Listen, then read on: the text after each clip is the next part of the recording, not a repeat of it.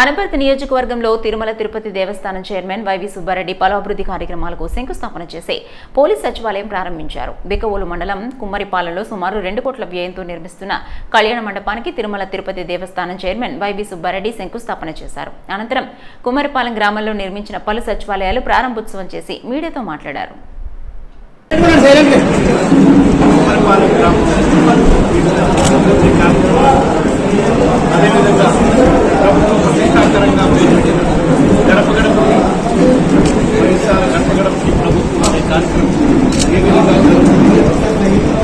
అమలు ఏ విధంగా జరుగుతుందనే దానిపై తెలియజేస్తుంది ఈరోజు గ్రామంలో ఈ సందర్భంగా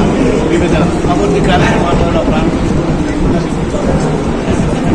గత మూడు సంవత్సరాల్లో ఖచ్చితంగా ఈ రోజు మే ఇరవై మూడో తారీఖు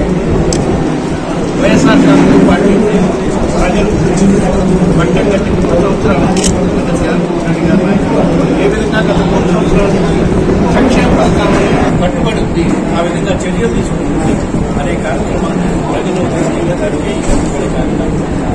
ప్రతిపక్ష పార్టీలు ఉన్నాయంటే గడప గడపకి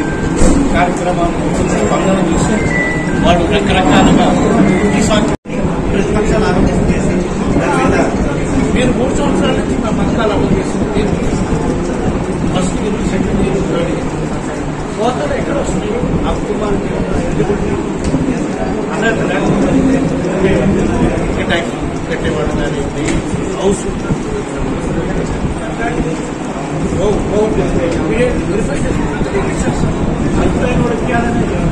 హాస్పిటల్లో ఉండేవాళ్ళకి పేదవాళ్ళు పేదవాళ్ళు అందరికీ ఇవ్వాలనేది అందరికీ కూడా నా తెలియజేస్తూ గ్రామంలో గతానికి ఇప్పటికీ కూడా ఎంతో తేడా ఉంది అభివృద్ధిలో సత్యబాబు గారు అదేవిధంగా జ్యోతి గారు గారి నాయకత్వం వచ్చిన తర్వాత